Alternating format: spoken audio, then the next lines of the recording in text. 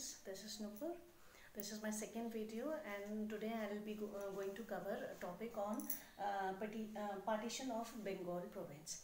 Right, if you have watched my uh, previous video then um, we are, you must be knowing that we have discussed already discussed about the formation of Indian National Congress. We have discussed about the moderates and extremists. Uh, students watch these videos regularly because uh, everything is discussed in a proper uh, chronological order, right? And start making notes uh, side by side. So today's topic is partition of Bengal province. When we are talking about the Bengal province, remember we are not talking about the West Bengal. So let's understand what uh, what uh, Bengal province was. It included at uh, that time West Bengal, parts of uh, eastern uh, Bihar, Odisha, Bangladesh, Assam, and parts of some northeastern states. So this was a huge, roughly a huge area uh, that was included in the Bengal province of that time. Right. Now, uh, this is an important event in Indian history because when we talk about the moderates and the extremists, why uh, a sudden change came in the ideology, why there was a difference in the ideology among the Indian leaders what happened? So uh, this happened in the year 1905 an important uh, um, decision was taken by british government uh, under lord curzon who was the then governor general of british india. And uh, the decision was of dividing the bengal province into two parts right and uh, um, uh, the young leaders who have joined the indian national congress uh, they uh, they became against of this decision.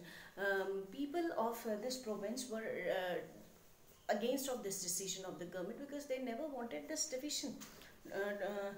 now the government had projected the reason behind why the division was done they, they have given the reason that uh, the uh, province is a huge one and if we divide the province in two parts then uh, the working of administration becomes easier for them they can work more efficiently. This was the reason given by the government. But the real motive behind dividing uh, Bengal province was to divide the population of Bengal on the basis of religion. So this was the first act of divide and rule by the British government.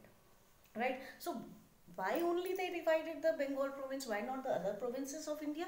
The reason was this was the first region from where the Britishers started ruling India right so the the modern things were introduced first in these regions like the modern education right so the elite section the educated section of bengal province they started raising their voice against the british policies wrong british policies because they they knew that the britishers and their policies are targeting um, against india.